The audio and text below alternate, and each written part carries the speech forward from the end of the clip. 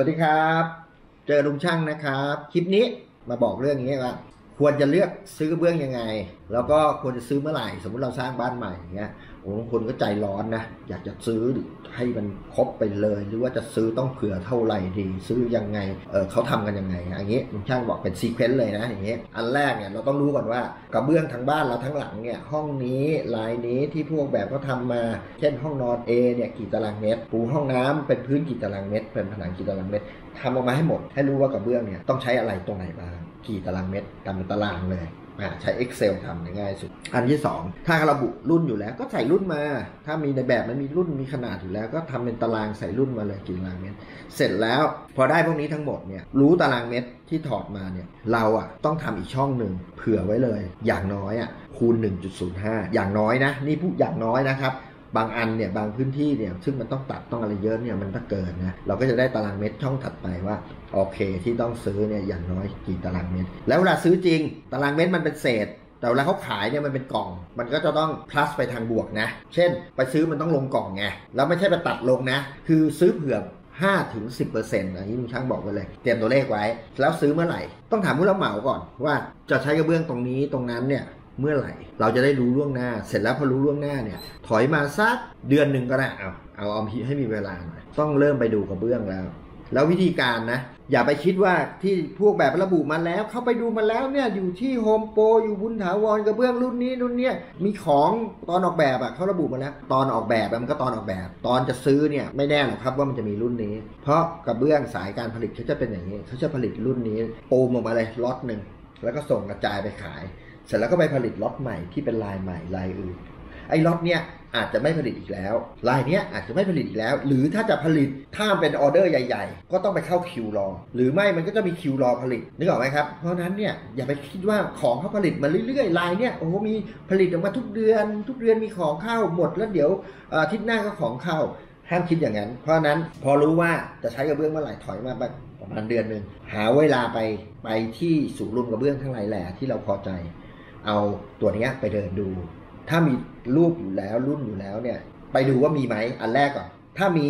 มีปุ๊บไม่ใช่แบบดีใจนะ ต้องเช็คกับเซลล์ก่อนเลยว่าทั้งหลังเนี่ยของรายเฉพาะรายเนี้ยท้ายห้าสิบสองตารางเนี่ยมีของไปต้องเช็คเดี๋ยวนั้นเลย ถ้าเซลล์มีล็อกเลย ล็อกต้องล็อกหมดนะ ห้ามซื้อบอกว่าซื้อซื้อไปสิบกล่องก่อนอย่าที่หน้าจะมาซื้อสิบห้ากล่อง อันนั้นถึงกับวิบัติเลยนะ ถ้าเกิดว่า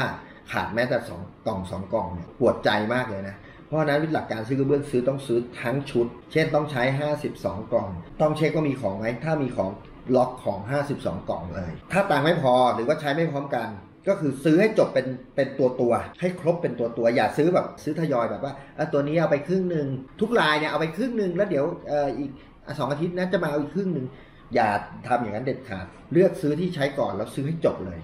นะครับนัดส่งของล็อกให้แน่นอนส่งของ อันนี้กรณีที่มีของ ถ้าไม่มีของก็คือคุณก็ต้องเลือกใหม่ล้วโดยการถามเซลล์ว่าลายแบบนี้ไซส์แบบนี้รุ่นนี้ไม่มีมันมีรุ่นไหนที่ลายใกล้เคียงไหมให้ก็ให้เขาหาไอตัวที่มีของ แล้วก็เอามาดูแล้วคุณก็เลือกเลือกเลย อย่ากลับบ้านแล้วค่อยกลับมาเลือก มันไม่งั้นก็ต้องเริ่ม process กันใหม่หมด เลือกเลย เลือกให้ได้ ถ้าในบางเคสเนี่ยตัดสินใจเองไม่ได้แล้วมีพวกแบบแล้วผู้แบบเขา support เนี่ย ก็ควรจะนัดกันไปดูกระเบื้องวันเดียวกัน แล้วก็ตัดสินใจนะตรงนั้นเลย ให้จบไปเลย อย่าถือแคตตาล็อกกลับบ้าน ออกจาก shop วันนั้นไอของที่บอกว่ามีวันนั้น อาจจะไม่มีแล้วสำหรับพรุ่งนี้ เขาไม่เก็บของให้คุณอยู่แล้วนะจำไว้เลย คุณต้องสั่งจ่ายตังค์แล้วก็ส่งเมื่อไหร่เขาว่ากันนะครับวิธีการซื้อกระเบื้องต้องซื้อแบบนี้นะ ซื้อให้จบเป็นเรื่องๆอย่าซื้อครึ่งหนึ่งข้อนหนึ่งแล้วเดี๋ยวค่อยไปซื้อเติมเผื่อกล่องเดียวพอเออเดี๋ยวถ้าขาดเขาวิ่งมาซื้อใหม่เนี่ยพวกนี้เก็บมาเยอะ มันเหลือเราเก็บไว้ไว้มีห้องเก็บของเหลือกล่องครึ่งกล่องย่างละกล่องครึ่งกล่องเนี่ยเก็บไว้วันหลังเนี่ยมันแตกอะไรเนี่ยเรายังมีของมาเปลี่ยนนะครับ เพราะพวกนี้มันผลิตแล้วผลิตเลยนะครับยิ่งไปเอาลายอะไรที่มันพิเศษพิสดารเนี่ยยิ่งหายากใหญ่เลย แต่ถ้าเป็นลายพื้นๆบางทีก็ของล็อตใหม่มันไม่ลายไม่เหมือนกันเรายังมาแทนกันได้ นี่คือหลักการ shop กระเบื้องนะครับ ซื้อซื้อให้จบเป็นรายการไปนะครับ ทีนี้รู้แล้วก็เราจะได้เตรียมการถูกเตรียมก็ประมาณถูก กะเวลาถูก แล้วก็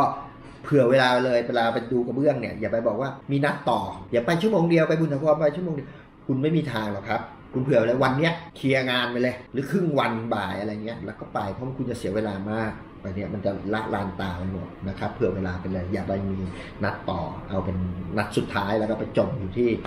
คุณทาวอไปจมอยู่ที่โฮมโปรมันประมาณนี้เลยนะ เวลาเลือกของ เอาไว้เจอกันใหม่ในคลิปถัดไป อย่าลืมกดไลค์กดแชร์ แล้วก็ถ้ามีประโยชน์ก็แชร์เพื่อนนะครับ จะได้เป็นกำลังใจให้ลุงช่างและทีมงานแล้วพบกันในคลิปถัดไปสำหรับวันนี้ สวัสดีครับ